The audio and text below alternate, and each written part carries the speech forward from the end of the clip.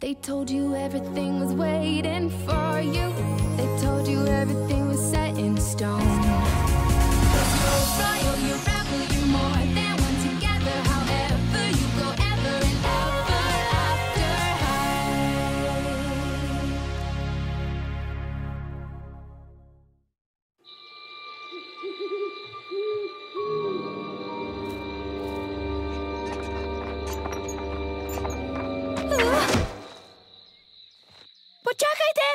Spotaknila sem se ob štor. Jaz pa nisem navaden štor, škrat gizel widget, sami imate ogromno srečo, da ste naleteli name osebno. Uh, Gizel, kaj si? Jaz bom vodil vas štiri dekleta na skrivno zabavo, ki si jo želite. Sledite mi. Čaka vas presenečenje.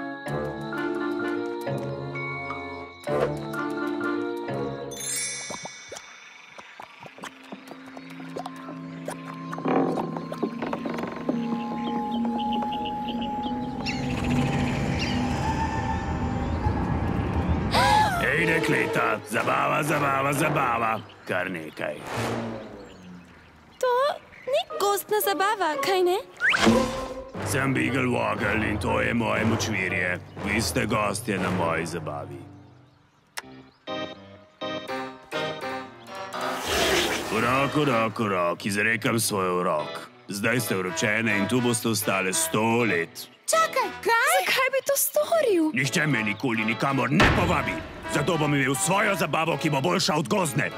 Zdaj vam ukazujem, da se zabavate. Nikomor ne moreš ukazati, naj se zabava. Ni čudnega, da nisi nikamor povabljen. Tako zelo nesramen si.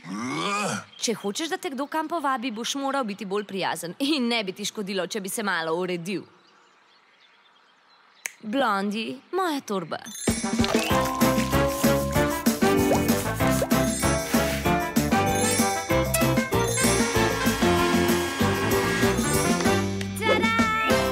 Se čisto prenovljeno. Bi rad prišel na gozdno zabavo k meni domov? Ti bi to naredila zame? Seveda, dovolila bi tisti Fabel, da gre z mano, če le ne bi bila tako usiljiva. Še nikoli mi ni nihče pokazal take prijaznosti. Preklicujem urok!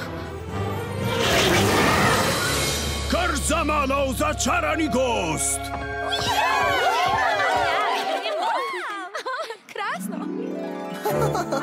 Očitno si ti edina, ki bo ostala tu.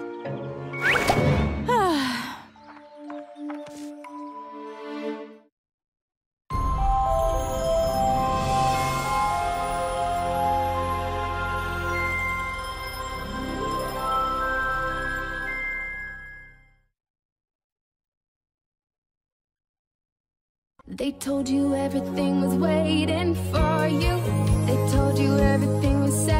stone.